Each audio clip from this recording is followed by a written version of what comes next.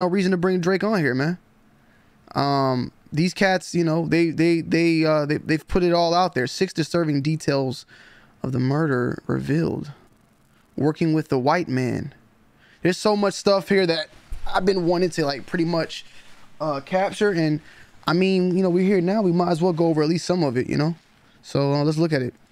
Are you currently part of the uh, transport team that is responsible for um, an inmate by the name of Robert Allen, who's also been listed as a state witness in the case of uh, state of Florida versus three co-defendants for the homicide of Jahseh Onfroy? Yes, I've been assigned with the transport of Mr. Robert Allen. Have you been with Mr. Allen since I believe it was Monday um, as part of his transport team um, to assist in getting him getting him here for trial?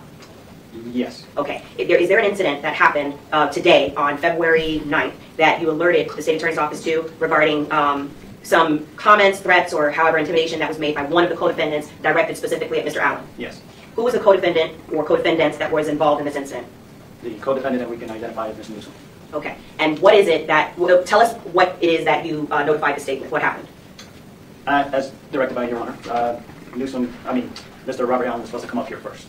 But as the procedures and normal operations of the jails, they usually pull the court docket kind of early, so unfortunately, the defendants were in the holding area before we could come up here. And if I just make, when you say defendants, who were the defendants that were in the holding area? The only one I know of now is Mr. Newsom. Okay. So he was in the holding area, and then what happened next? Uh, We notified the Braves that were coming up with a high profile, so they can secure it, lock everybody down. Uh, They put these drapes on the windows, try to clear the hallway, as we're Bro, the the the, the dude that's telling is telling telling. He's telling he's telling what happened during the trial, but during the trial, he's telling what's going on during the damn in the back end. Like, y'all better leave that boy alone, man. So apparently the guy that is uh spilling the beans here, the suspect, the big guy, is basically um they had him in a holding cell.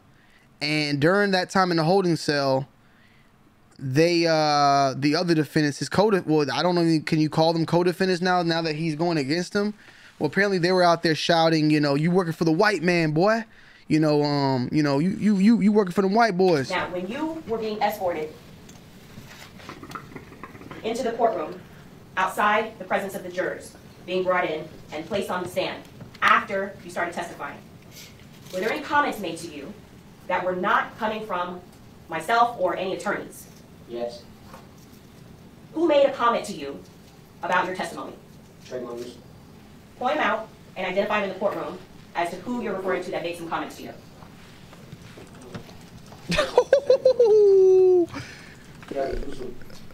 Okay? he put boy. Hold on man. That picture right there. You got that pistol on him man. That picture tells a thousand words right there boy. That's one of them pictures that they gonna draw in the courtroom you gonna see that picture in the courtroom. You know how they be drawing little drawings and stuff? Boy y'all better leave that boy alone man. So he's the one taking the plea deal. And I'm kind of curious on uh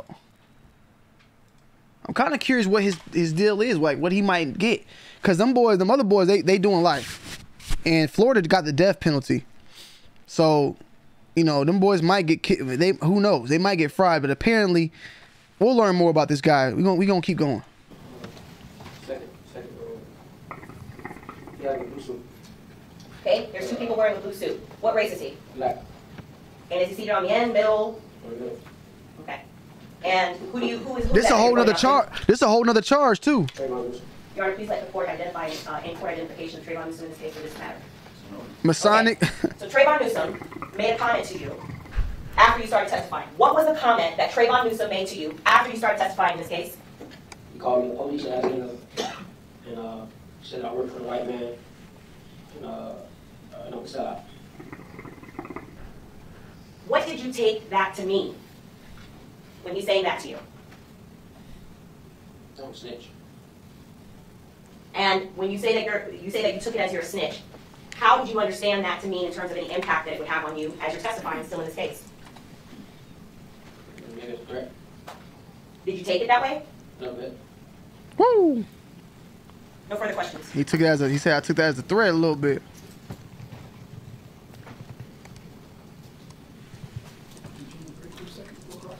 No. Whew. So they gonna they, they gonna probably get that boy a little bit more something something now. The hell?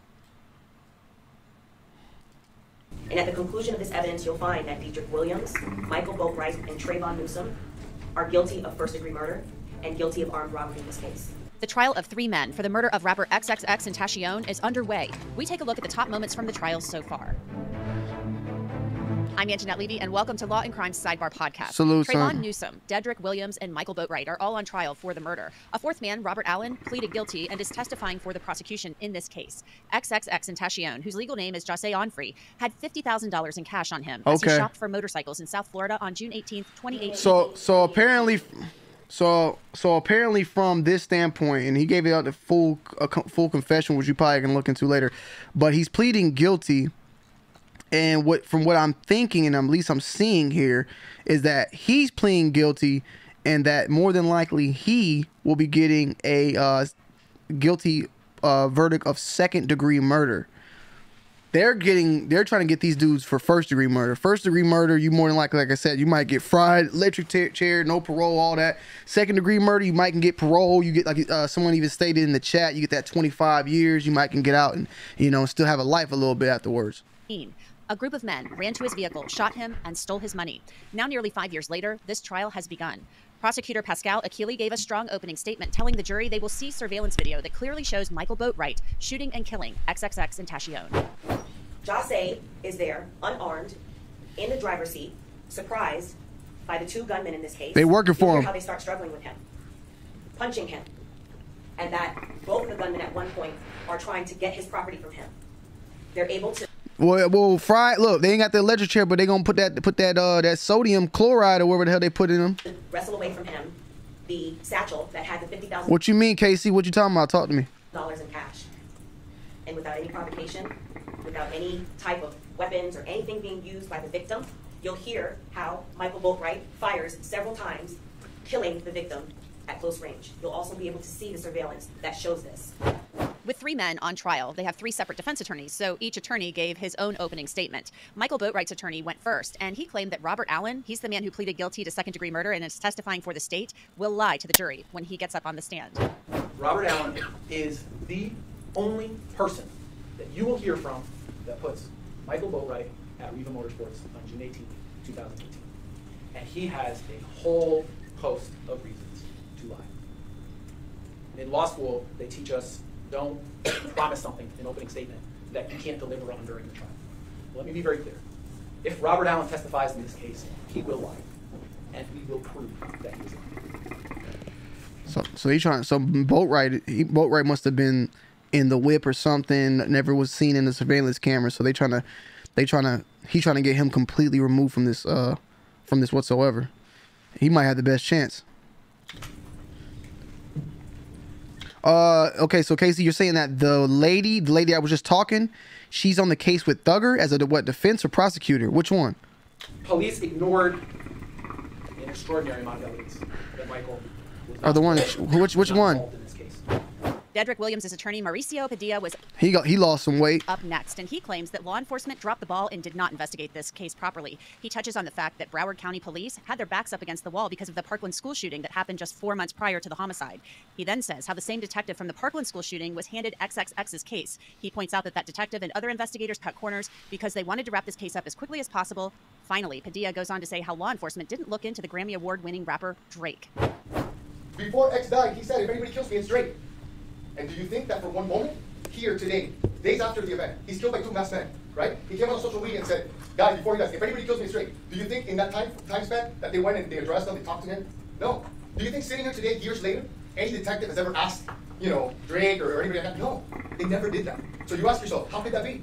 If any of us is involved in, you know, God forbid, in a murder, and you say, hey, it's so-and-so, you better believe so-and-so is going to get investigated. But in this case, they didn't do it. They didn't do it because they didn't, it didn't comport with their version and their narrative. And as law enforcement, I think that they have the obligation to do so. Finally, Trayvon Did- News. Yo, he capping. Newsom's attorney gave He his doing opening too much. statement. He went last, and instead of pointing to evidence that will clear his client, he pointed to evidence and said what it will not show.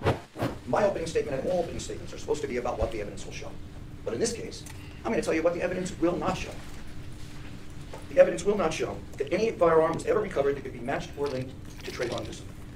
The evidence will not show that anything from a thorough search of his home where he lived with his father and his sister, including digging up his entire backyard, because they heard the money was buried there, turned up anything that would link Trayvon Newsom to this terrible crime.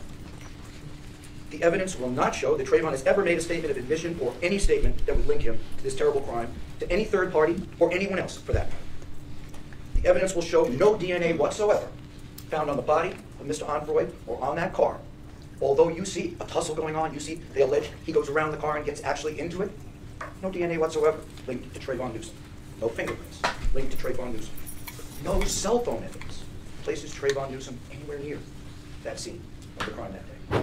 At the time of the murder, XXX was shopping for those motorcycles with his uncle, his So we see Robert Allen and Big uh, Big Boy, and then this is the Trayvon. I guess Trayvon Newsom in there in the video. This is the one that's doing the plea deal now, right now. He's the one that's just snitching, snitching, and the reason why Buddy right here is snitching is one he does have. I guess I guess the more like unlikely. Now they said supposedly that they were going here to get masks. They were getting masks. I'm confused. Were they getting trying to get masks from this place? Like this place sells masks. This part I'm a little confused. But the next thing I'm gonna say though also is that they they uh they they uh they punked this guy. They gave him five thousand dollars out of the fifty thousand that everybody else uh, everyone else split apparently or something like that. Step uncle, actually, Leonard Kerr. Kerr took the stand and explained he was able to run away from the car when the shooters drew their guns on him and XXX. He's on surveillance video running away from the shooting. Kerr explained what he saw and heard minutes later. Are y'all doing that? If that's, if your- if your nephew in the car, you gonna you gonna run out run off on him like that? Let me know, chat. Now, at the point that you're calling Cleo, had anything else happened other than you exited the car for your life? I ran and they were down there. The two men that could jump out the car was down there. So you left Jose in the car and the two gunmen were still there? Yes, ma'am. Did you see anything that happened to Jose, between Jose and the gunman after that? Okay. Before, when I there, opened the. Taller guy, as I tell you, the taller guy went around to Jose's side. He shot The one now come around to the door that I was, my door that I opened, and he go inside the car. You saw that? I see that because I was looking when I run up here and saw some who in the, who in the some of the man that was on the phone. I keep looking down there. When I keep looking, I realize that the shorter one come around to my side. The taller one to Jose's side. Okay, so And it's almost like, I'm sorry? And then I heard something like, fire, fire. How much time I don't know, but I heard something like that as well. An explosion? Yeah. Let's go back to Robert Allen. He's the man I just told you about who pleaded guilty to second degree murder and is testifying for the state. On Wednesday, Allen took the stand and claimed that he and the three defendants robbed and killed XXX Now the uncle said that the guys came around the car, but they, parking they lot never went around that car. They ne- dealership. He Maybe that's what he thought when he reached over like that. Them boys is holding them AR pistols, bro. explained what happened over those three short minutes. Trayvon Newsom do after he grabs the bag. As he grabbed the bag, shots are fired. Judge, I'm gonna ask him to speak to the microphone. As he grabbed the bag, shots are fired. Who shoots the shots that are fired? Michael Boatwright, And who does he shoot? Triple X, Where does he shoot him from? What side of the car? driver. So if Triple X is in the driver's seat and Michael Boatwright is in the driver's side, the shots are coming onto Triple X's left side or right side? Which side? That's Okay. And what happens, af- how many times you recall that Michael Boatwright And this seeing that surveillance footage, bro, it's really bad, sad because they pretty much already had the bag and shot him. Like they or they shot him backing up. It was stupid. shoots Triple X? maybe like two or three times.